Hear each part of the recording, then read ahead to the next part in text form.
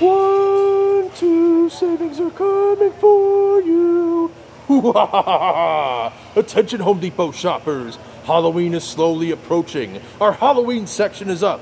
How about a deal that's classic, like the 1984 Nightmare on Elm Street? Just open up a brand new Home Depot credit card and slice your way into savings. If one's not enough, get a second one, like Nightmare on Elm Street Part 2. Freddy's Revenge. If two's not enough, get a third one, and maybe the best one, like Nightmare on Elm Street Part 3 Dream Warriors. Leave the Middletown Home Depot feeling like the Dream Master, feeling like the Dream Child. Don't let your high total be your final nightmare, like in 1991. Bounce back with a brand new nightmare, like Wes Craven's new nightmare, and then you leave the Middletown Home Depot winking and dream chasing, like Freddy Krueger at the end of Freddy vs. Jason. Vince the Voice signing off.